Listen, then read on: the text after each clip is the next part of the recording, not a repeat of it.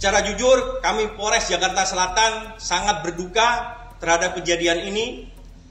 Kami senantiasa akan mengusut sampai tuntas peristiwa pidana ini. Polisi akhirnya menguak misteri tewasnya empat anak di sebuah rumah di Jagakarsa, Jakarta Selatan yang sempat membuat geger masyarakat. Keempat anak malang itu berinisial VA, 6, S, 4, A, 3, dan AS, 1.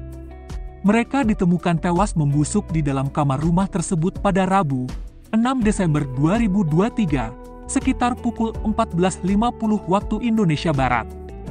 Pelaku pembunuhan tidak lain adalah ayahnya sendiri, Panca Darmansyah, 40. Kasat Reskrim Polres Metro Jakarta Selatan AKBP Bintoro sampai menyatakan rasa dukanya atas kasus yang menghilangkan empat nyawa sekaligus ini.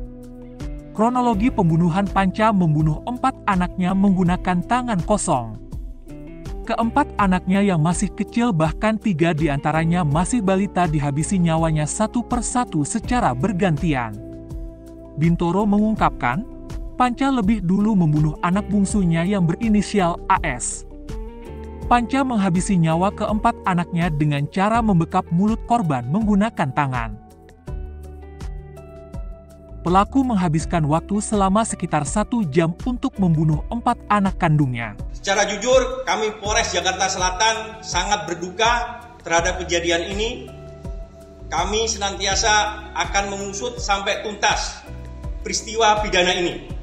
Pengakuan daripada si pelaku bahwa yang bersangkutan melakukan pembunuhan pembunuhan dengan cara mencekap mulut ya korban satu persatu.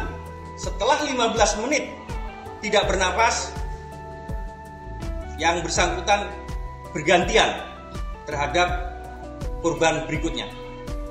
Itu dalam keadaan kondisi tidur ataupun uh, ada lag atau gimana korban? Dalam kondisi masih uh, sadar. Apa motif pembunuhan itu, Pak? Sementara. Sementara masih kami dalami. Untuk saat ini kami bekerja. Izinkan kami gunakan Scientific Crime Investigation dalam rangka untuk pengungkapan perkara ini. Kami senantiasa berkolaborasi dengan stakeholder yang ada.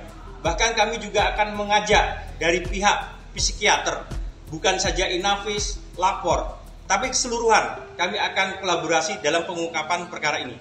Penyekapannya pakai tangan ya. Hari apa, Pak? Hari apa, Pak? Hari apa, Pak? Hari apa? Di sekap di hari Minggu pada tanggal 3 Desember tahun 2023 sekitar pukul uh, 13 sampai dengan pukul 14